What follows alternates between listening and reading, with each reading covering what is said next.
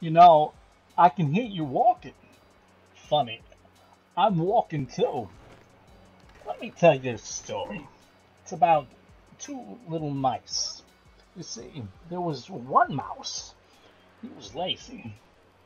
He drowned and sunk straight to the bottom of the bucket.